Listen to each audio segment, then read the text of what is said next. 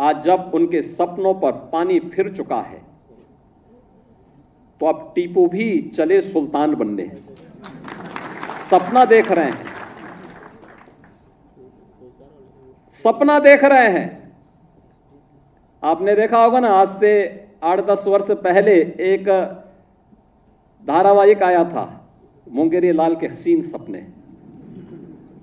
सपना देखना, वैसे भी इन लोगों को सपने ही दिखाई देते हैं। सपने देखने की इन लोगों की आदत रही है। क्योंकि तब